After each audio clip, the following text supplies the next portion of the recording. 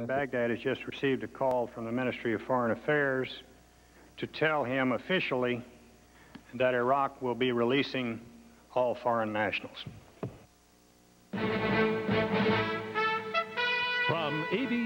This is World News Tonight with Peter Jennings. Sitting in tonight, Diane Sawyer. Good evening. Words Americans have been hoping to hear. The hostages, Saddam Hussein's guests, may be coming home. There are more than 6,000 Western and Japanese citizens still detained or hiding in Iraq and Kuwait, 930 of them Americans. This morning, Hussein announced they will be free to leave, maybe within days. The Voice of America has already started telling them preparations are underway. The administration called it a welcome and significant development, a sign that the international pressure on Iraq is working. We begin tonight's coverage in Baghdad with ABC's Karen Burnes. It came as a surprise, especially to those most affected. I like that. it's great. No, I'm very, very happy. It's overwhelming. A taxi driver informed us. He said, oh, you're free.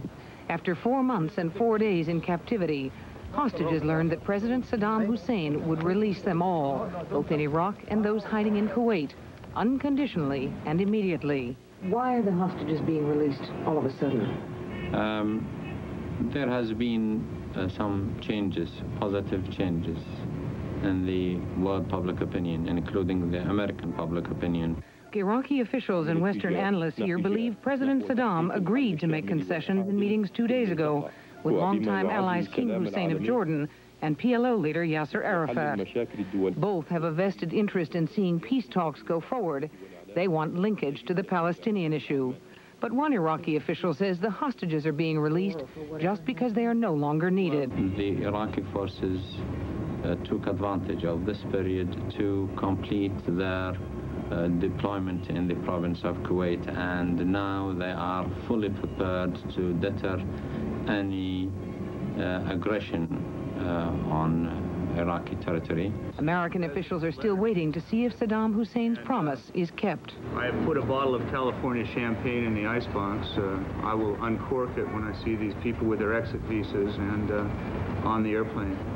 Tomorrow, the Iraqi National Assembly will vote on Saddam Hussein's proposal to release the hostages. If they vote as they're expected to, the hostages could be released immediately, as soon as papers are processed and human shields are brought in from strategic sites. Karen Burnes, ABC News, Baghdad. ABC News has learned that in addition to telling Hussein to release the hostages, the PLO and King Hussein have also urged him to get out of Kuwait and try to make a separate deal with King Fahd of Saudi Arabia. Under the deal, Iraq would gain access to the sea and keep the oil fields along the Iraq-Kuwait border. Release of the hostages is only one of the demands made by the United Nations. Withdrawal from Kuwait is another, and the restoration of the Kuwaiti government. So the reaction from President Bush today was keep the pressure on. ABC's Brit Hume is with the president in Santiago, Chile. Word of the Iraqi announcement had reached President Bush aboard Air Force One as he flew into Santiago. Mr. Bush could not do other than welcome the news, but there was the danger it would undermine his unyielding stand toward Iraq. He said nothing about it until asked at a joint news conference with Chilean President Aylwin. The release of all hostages would be a very good thing, but the problem is the aggression against Kuwait. And the man must leave Kuwait without reservation, without condition. The president insisted there is no behind-the-scenes diplomacy between the U.S. and Iraq. There are no secret negotiations, direct or indirect, with Iraq over this question.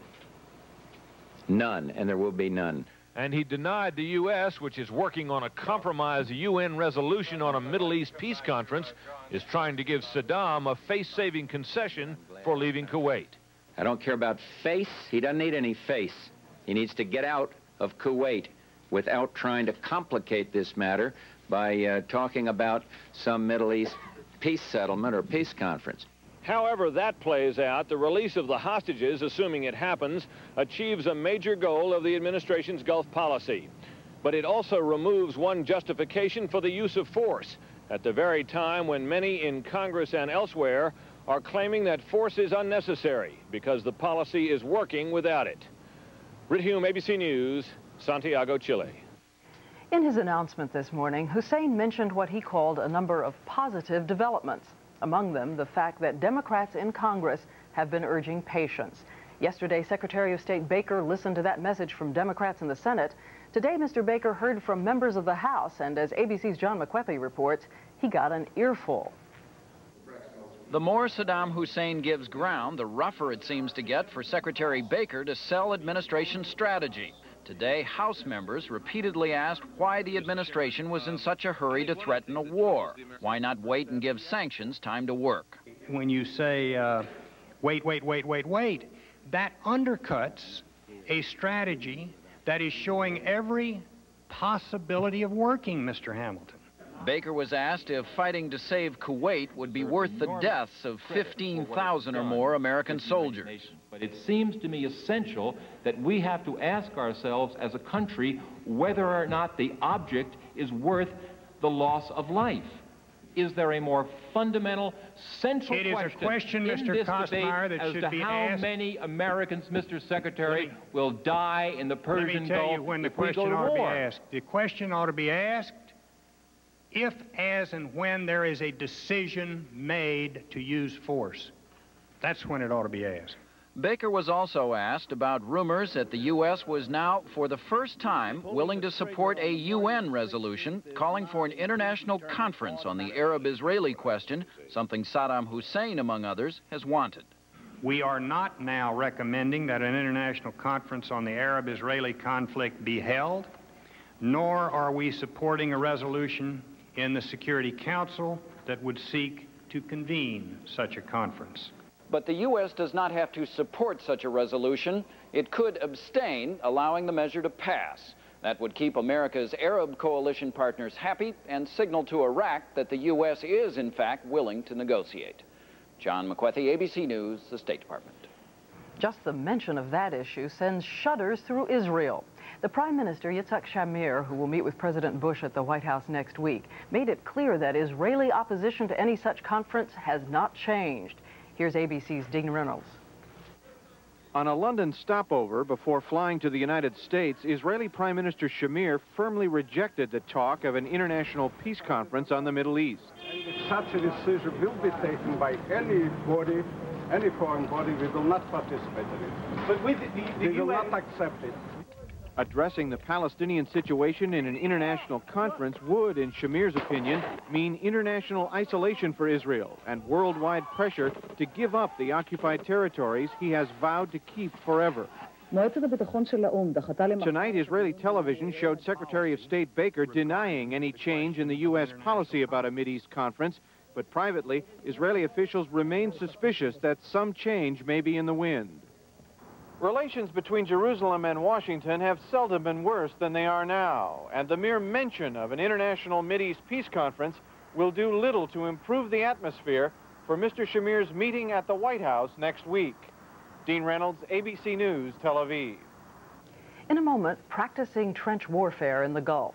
Still more technical trouble for the Space Shuttle Columbia. And on the American agenda, how to break up America's love affair with gas-guzzling cars. This is World News Tonight with Peter Jennings. Brought to you by Tylenol.